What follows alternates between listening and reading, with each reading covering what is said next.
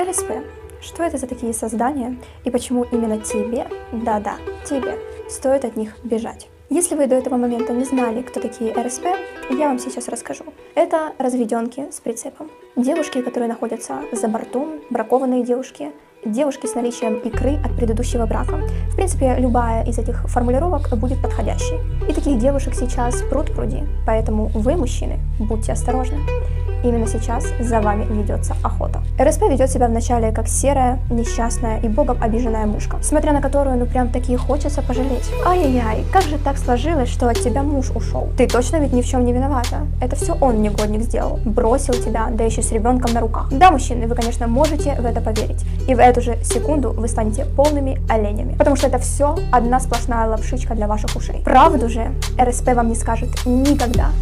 Запомните, никогда иначе она потеряет свой улов. Этот сорт девушек крайне опасен, ибо для достижения своей цели, а это деньги, и сбрасывание своей икры на ваши плечи, они готовы на многое. Если тебе не нравился этот мужчина, потому что он был абьюзером, он тебя не уважал, не любил, мало зарабатывал, почему ты рожала ему ребенка. Или тебя посетил склероз, и ты забыла, что такое презервативы. Или аборт нынче более дорогое удовольствие, чем рожать. А может все до этого было прекрасно, и муж свой был прекрасен, просто ты придумала эти сказки для очередных ложков. А, вспомнила, есть еще несколько. Он мне изменял и стал другим в браке со мной. Ключевой момент в браке с тобой, дорогая. И изменял тебе он по той же самой причине. Так что, мужчины, лично я не вижу ни одного повода, чтобы встречаться с такой девушкой. Если ее бросили, а тем более с ребенком, значит она довела до этого своего мужчину. Он, бедный, бежал дальше, чем видел. И тут она нашла себе нового ложка, чтобы вновь найти применение для своей вагины. К тому же, которая далека уже от первородного состояния. Они никогда не будут заботиться о тебе, а тем более любить.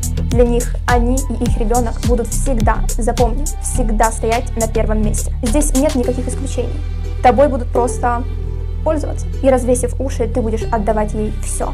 Ведь она так несчастна. Воспитывать ее ребенка, потому что она же такая бедненькая мать-одиночка, которой так тяжело. И когда ты одумаешься, будет уже слишком поздно. Она как глист залезет так далеко и так глубоко, что когда ты захочешь избавиться от нее, это будет либо нереально, либо крайне проблематично. Зачем брать на себя чужую ответственность? То, что она осталась одна, это причинно-следственная связь, а не мужчина-негодяй, либо же жизнь ко мне неблагосклонна. Вы ничего ей не обязаны. Мужчины, как только вы узнаете о том, что у этой женщины есть ребенок, бегите как можно дальше и не оглядывайтесь.